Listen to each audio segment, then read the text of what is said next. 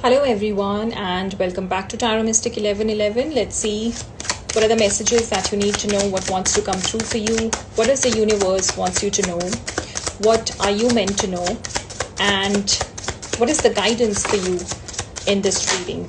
All right.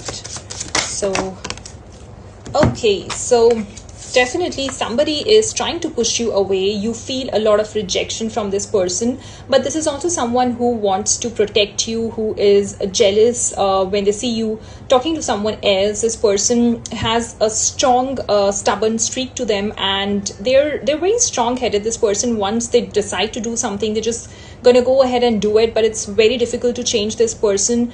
Um, so they right now they're trying to resist themselves. They have amazing self-control you could be dealing with an aries this person uh, right now they have pulled back their energies from you and they seem to be acting cold and aloof towards you. It's because something happened with them in the past that's uh, stopping them and creating a lot of fears inside them that's making them um, seem to rethink about your relationship. And that's the reason they're trying to reject you or stand their ground and pushing you away. But i feel this is also somebody um, who will take action towards you. Uh, you can say from now till the next year april this person is definitely going to evolve a lot, come out of their past relationship, the past traumas, and they're going to take action towards you in divine timing.